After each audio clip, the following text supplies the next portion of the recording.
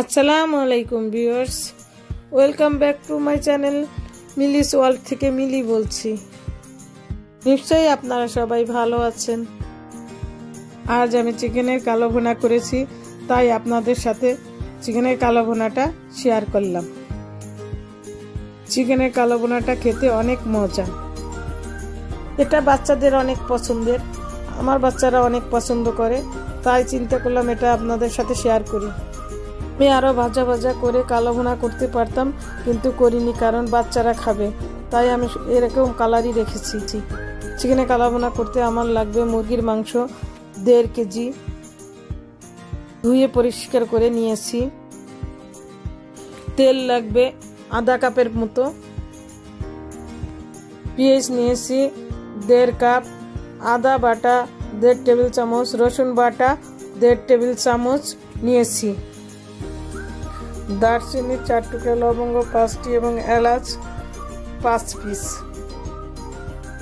মরিচ গুঁড়া দুই চা চামচ, হলুদ গুঁড়া দুই চা চামচ, জিরার গুঁড়া দুই চা চামচ, ধনিয়ার গুঁড়া দুই চা চামচ, গরম মশলার গুঁড়া এক চা চামচ এবং গোলমরিচের গুঁড়া হাফ চা চামচ এবং লবণ পরিমাণ মতো। চুলায় কড়াই বসিয়ে দিয়েছি এবং তেল দিয়েছি হাফ কাপের মতো।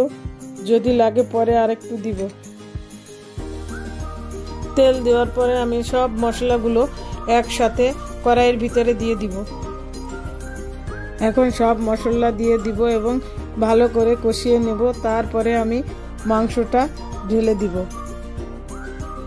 আপনারা চাইলে মাংস, মশলা একসাথেও দিতে পারেন এবং মাখিয়েও দিতে পারেন।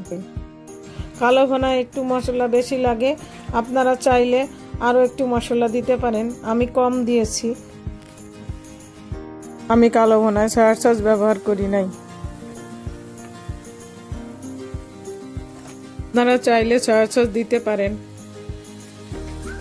কষানো মশলার ভিতরে আমি এখন মাংসগুলো ঢেলে দিব এবং ভালো করে নেড়ে নিব। মাংসগুলো বেশি বেশি নাড়াচাড়া করলে মশলাগুলো মাংসের ভিতরে ঢুকে যাবে এবং স্বাদ আসবে। চুলায় দেওয়ার পর, কিছুক্ষণ পর পর আমি নেড়ে দিয়েছি মাংসগুলো। এখন মাংসগুলোর ভিতরে আমি লবণ দিয়ে দিলাম। লবণটা আপনি আপনার স্বাদ মতো দিবেন, আমি আমার স্বাদ মতো দিয়েছি।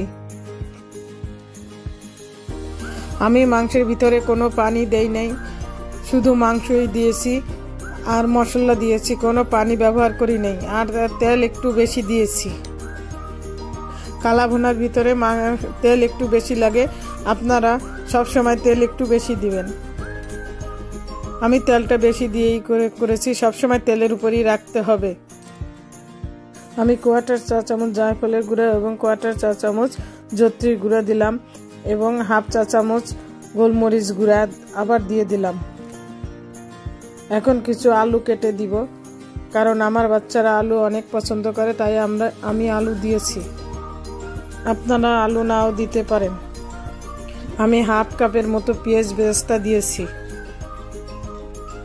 কালো ভোনায় বেশি করে পেঁয়াজ বেরেস্তা দিতে হয়। আমি এটা পরে দিয়েছি।